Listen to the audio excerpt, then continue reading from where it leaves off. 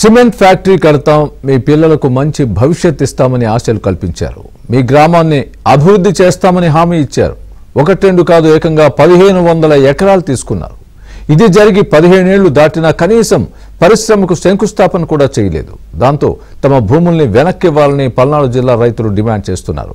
వైఎస్ఆర్ కుటుంబం తమను మోసం చేసిందని వాపోతున్నారు.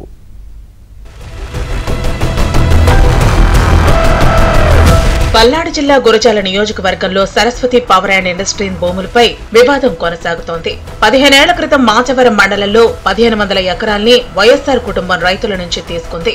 తమ నుంచి కొనుగోలు చేసిన భూముల్లో సిమెంట్ ఫ్యాక్టరీ ఏర్పాటు చేస్తామని చెప్పారని తమకు ఉపాధి కూడా కల్పిస్తామని హామీ ఇచ్చారని చెన్నైపాలెం రైతులు చెబుతున్నారు. ఇప్పటిదాకా పరిశ్రమ ఏర్పాటు చేయలేదని మండిపడుతున్నారు. తమ భూముల్ని వెనక్కి ఇచ్చేయాలని డిమాండ్ చేస్తున్నారు.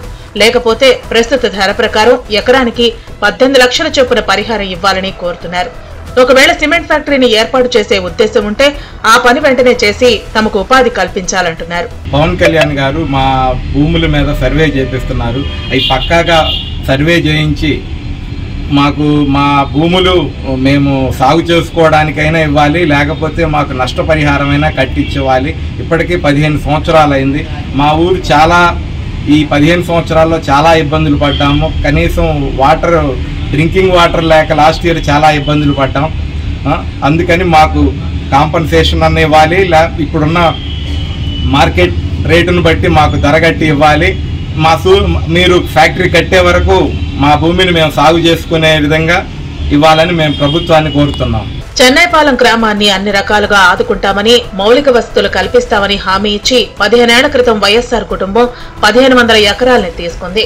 రెండు మూడేళ్ళలోనే ఫ్యాక్టరీ నిర్మిస్తామని చెప్పారు. కానీ ఇప్పటిదాకా అతిగతి లేకపోవడంతో స్థానికులు ఆందోళన చెందుతున్నారు. అప్పట్లో తక్కువ ధరకే తమ నుంచి భూముల్ని కొనుగోలు చేశారని ఇన్నేళ్ళలో కనీసం శంకుస్థాపన కూడా చేయలేదంటున్నారు. అప్పుడు ఎకరానికి మూడు లక్షలు బీడి భూమి అయితే లక్ష ఇరవై వేల చొప్పున ఇవ్వటం జరిగింది.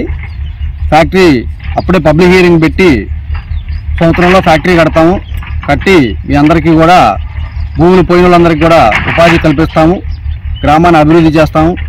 గ్రామాన్ని దత్తత తీసుకుంటామని చెప్పేసి పబ్లిక్ హీరింగ్లో చెప్పడం జరిగింది.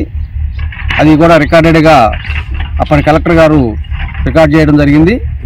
తర్వాత క్రమంలో ఇంతవరకు కూడా ఫ్యాక్టరీ కట్టలేదు. తర్వాత రెండు వేల పద్నాలుగులో ఫ్యాక్టరీ కట్టట్లేదని చెప్పేసి రైతులు భూములు వేసుకుంటే వైసీపీ రౌడీ మూకలు పొలాలని ట్రాక్టర్లతో దున్నించి నాశనం చేయడం జరిగింది.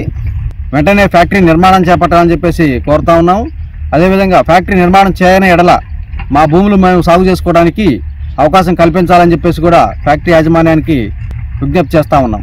సిమెంట్ ఫ్యాక్టరీ కడితే తమ పిల్లలకు ఉపాధి దొరుకుతుందని గ్రామం అన్ని విధాలా అభివృద్ధి చెందుతుందన్న ఆశతో తక్కువ రేట్లకే భూములిచ్చామని చెన్నైపాలెం రైతులు చెప్తున్నారు. కానీ తమ ఆశల్ని అడియాసలు చేశారని అందుకే భూముల్ని వెనక్కివ్వాలని డిమాండ్ చేస్తున్నారు.